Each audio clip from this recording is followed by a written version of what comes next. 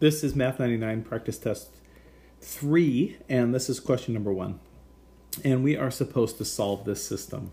So um, as we go to solve this system, we want to look for either substitution or elimination. And I could eliminate either y or x. I noticed that this is a 2x. So if I made that a negative 2x, I could add the equations together and x would be canceled. So I'm going to do that. So I'm going to multiply, whoops, that was my wrong tool. If I multiply uh, this equation by negative 2, the first equation is going to stay as it was.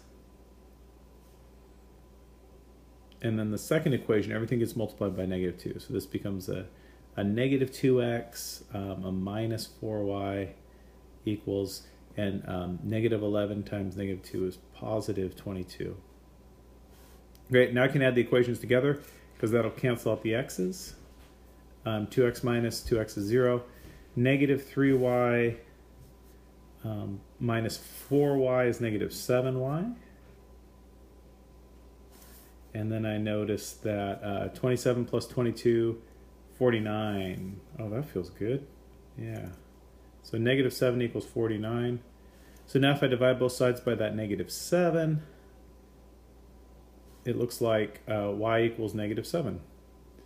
So if y is negative 7, I can plug it back into any of the equations to figure out what x is. I'll just plug it into this bottom equation. So x plus 2 times negative 7 equals negative 11.